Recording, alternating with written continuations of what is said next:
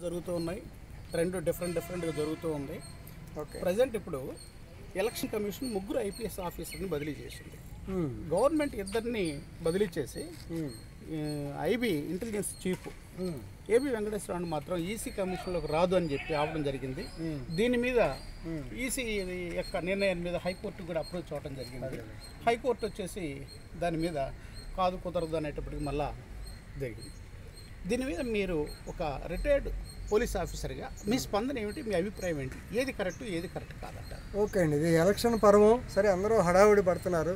కానీ పోలీసు వ్యవస్థ మీద పోలీసు వ్యవస్థ మీద ప్రజాపాలకులు ఎలా అభిప్రాయం ఏర్పరచుకుంటున్నాడు ఎట్లా పోలీసుని వాడుకుంటున్నారు అనేది క్లియర్గా మీకు అర్థమవుతుందండి. ఒకటి ఏబి వెంకటేశ్వరరావు గారి కేసు క్లాసిక్ కేసు ఇప్పుడు రాజ్యాంగంలో మనకి ఆర్టికల్ మూడు వందల ఇరవై నాలుగు ప్రకారము election process election commission of India అనే దాన్ని నిర్ణయిస్తారు. అది టోటల్గా స్వతంత్ర పరిపత్తి ప్రతిపత్తి కలిగినటువంటి ఆర్గనైజేషన్ విభాగం అది. దాని మీద ఎవరిది అధికారం లేదు. కోర్టులు కూడా దాంట్లో జోక్యం చేసుకోలేవు. ఇది అందరికీ తెలిసిందే. ఇది సహజంగా మీరు మాట్లాడితే ఏదైనా మాట్లాడచ్చు. బట్ నేను నేనంటే నేను ఒక పోలీస్ అధికారిగా అలాగే ప్రభుత్వానికి అధినేటువంటి ముఖ్యమంత్రి గారుగా ఏది పెడితే అది మాట్లాడు మేము మాట్లాడదానికి కొంచెం విలువ ఉండాలి. కానీ నిన్న జరిగిన విషయం ఏంటంటే ఏబీ వెంకటేశ్వర గారు ఒకప్పుడు చాలా మంచి పోలీస్ ఆఫీసర్ విజయవాడలో కూడా చాలా పవర్ఫుల్గా పనిచేసిన ఆఫీసర్. సరే ఏదేమైనా ఇంటెలిజెన్స్ డిపార్ట్మెంట్కి వచ్చేటప్పటికే సరే ఆయన ఏదో ఒక అధికార పార్టీకి అనుకూలంగా వ్యవహరిస్తున్నారనో అదర్ పార్టీ వైసీపీ అయి ఉండొచ్చు వైసీపీ వాళ్ళు ఆయన మీద ఎలిగేషన్ పెడతాం. ఎలిగేషన్ మీద ఆయన బదిలీ చేయమంటం అనేది జరిగింది. బదిలీ చేయటం అనేది కేవలం ఎలక్షన్ ప్రక్రియలో కొంచెం పక్కన పెడుతుంది తప్పితే అదేం పనిష్మెంట్ కాదు. Even for that matter suspension కూడా పనిష్మెంట్ కాదండి. కొత్త అభియోగం వచ్చింది కాబట్టి ఎందుకంటే ఎలక్షన్స్ అనేవి నిష్పక్షపాతంగా జరగాలి అనేటువంటిది ఎలక్షన్ కమిషన్ యొక్క అభిప్రాయం కాబట్టి ఆ జరిగే ప్ర ప్రక్రియలో ఇలాంటి వాళ్ళ మీద ఎలిగేషన్ వస్తే కొంచెం పక్కన ఉన్నవా మిగతా వాళ్ళతో చేసుకోమని చెప్పన్నారు. సో దీని మీద ప్రభుత్వం నా ఉద్దేశంలో కొంచెం అతిగా రియాక్ట్ అయింది. పోలీస్ ఆఫీసర్స్ కోసం పోలీస్ ఆఫీసర్స్ డ్యూటీలో ఉన్న వాళ్ళు ఎవరు లేని వాళ్ళు ఎవరు రిప్రజెంటేషన్ ఆఫ్ పీపుల్ యాక్ట్లో ట్వంటీ ఎయిట్ ఏ అమెండ్మెంట్ వచ్చింది. అమెండ్మెంట్ ప్రకారము పలానా పోలీస్ అధికారులు ఎలక్షన్ డ్యూటీలో ఉంటారు. లిస్ట్ అంతా ఇస్తామండి. ఒక్కసారి ఎలక్షన్స్ డిక్లేర్ చేయగానే చేయగానే ఆటోమేటిక్గా ప్రభుత్వ అధికారుల్లో ఎవరైతే డ్యూటీలో ఉంటారో ఎలక్షన్ డ్యూటీ చేస్తారో వాళ్ళందరినీ ఆటోమేటిక్గా లిస్ట్ వెళ్ళిపోతుంది ట్వంటీ ఎయిట్ ఏ ప్రకారం. దానిలో ఏబి వెంకటేశ్వర గారి పేరుంది. రెండవది ఇంటెలిజెన్స్ చీఫ్. అసలు ప్రభుత్వానికి కళ్ళు చెవులు కూడా వారే. అటువంటి విభాగం ఎలక్షన్ లేదంటం అనేది నాకైతే కొంచెం ఇబ్బందికరమైన మాట నేను చెప్పలేను. రైట్ ఓకే అయ్యింది. అయిపోయిన తర్వాత మరి ప్రభుత్వానికి చాలామంది లీగల్ అడ్వైజర్స్ ఉంటారండి. అలాగే చాలామంది మేధావులు ఉన్నారు. మన రాజ్యసభ సభ్యులు కూడా చదువుకున్న వాళ్ళు ఉన్నారు.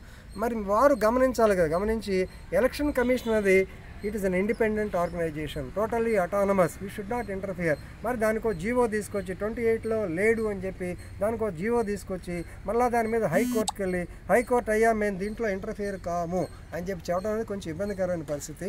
మరి దీన్ని బట్టి పోలీస్ వ్యవస్థని ప్రభుత్వం ఎలా వాడుకుంటుంది? ఒక ప్రభుత్వ అధికారి మీద ఒక పోలీస్ అధికారి మీద అంత ఇంట్రెస్ట్ ఎందుకు? రెండవది ఈ మాటకు వచ్చినప్పటికే ఇంటెలిజెన్స్ చీఫ్ అనే అతను అసలు దీనికి ఎలక్షన్కి సంబంధమే లేదన్న. లేనప్పుడు పంపించేయండి. తొందర ఏముంది? ఆయన కాదు ఇంకోళ్ళు పని చేస్తారు. ఏ సెక్యూరిటీ మోస్ట్ ఇంపార్టెంట్ అన్నారు. గుర్తుపెట్టుకోండి సెక్యూరిటీ వింగ్ ఇంటెలిజెన్స్లో ఒక భాగం. ఇంటెలిజెన్స్ చీఫ్కే సెక్యూరిటీ సెక్యూరిటీకి సపరేట్గా మన ఒంగోలు ఎమ్మెల్యే గారు అల్లుడే ఎస్ఐబికి ఇన్ఛార్జ్ ఉన్నారు. సరే అదేదైనా సరే దానికి సపరేట్గా ఉన్నారు. కాబట్టి ఇంటెలిజెన్స్ చీఫ్ని బదిలీ కోసం ఇంత హడావుడి చేయటం బాగోదు. దట్టు మామూలుగా మామూలు మీరు చంద్రబాబు నాయుడు గారు దాదాపు ఎంతో అనుభవం గల ముఖ్యమంత్రి మంచి అడ్మినిస్ట్రేటర్ మంచి గ్రిట్మన్ ఆయన. గవకన ఆయన కొంచెం మాట్లాడటం అనేది కాస్త ఇబ్బందికరంగా ఉంది. ఇదే సందర్భంలో ఇంకోటి ఉందండి. మిరావలి గారు దీంట్లో ఏంటంటే ఈ మధ్య కాలంలో గోరంట్ల మాధవ్ అని సరే వాడిని అక్కడ సింగం అంటారులేండి ఆయన. ఆ సింగం అనే అతను సరే మొత్తానికి ఏదో ఒక పార్టీకి నేను చేరతాను కాబట్టి నేను వాలంటీర్ రిటైర్మెంట్ తీసుకుంటాను అన్నాడు. ఆ వాలంటీర్ రిటైర్మెంట్లో కూడా వాలంటీర్ రిటైర్మెంట్ లాస్ట్ మినిట్ దాకా అతను ఇబ్బంది పెట్టారండి తీరకు ట్రిబ్యునల్కి వెళ్ళాడు. ట్రిబ్యునల్కి వెళ్ళినా సరే ఒప్పుకోలే. హైకోర్టుకి వెళ్ళి ఇరవై ఐదో తారీఖు మధ్యాహ్నం మూడు గంటలకి ఆర్డర్స్ తీసుకుని చేశాడు. ఏ అంత ఇదేంటండి? అతను ఏదో పోతానన్నాడు. అతనికి ఇంట్రెస్ట్ ఉంది.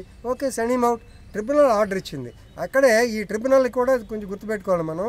Article three twenty three A ప్రకారము tribunals they are equal to high court tribunal ఏం ఆర్డర్ ఇస్తే హైకోర్టు ఆర్డర్ ఇచ్చినట్టే. కానీ అప్పీల్కి హైకోర్టు వెళ్ళాలని ఒక ప్రొవిజన్ ఉంది కాబట్టి ట్రిబ్యునల్ ఇచ్చిన ఆర్డర్ ఎవరూ చేయట్లేదండి. కొంచెం బాధ అయింది ట్రిబ్యునల్ ఎవరుంటారు? అసలు ట్రిబ్యునల్ పర్పస్ ఏంటి? కోర్టుకి ప్రతి విషయంలో ఖాళీ ఉండదు కాబట్టి ఆ డిపార్ట్మెంట్లో బాగా అనుభవం ఉన్న పర్సన్స్ని ట్రిబ్యునల్ మెంబర్స్ పెట్టి డిసైడ్ చేస్తారు.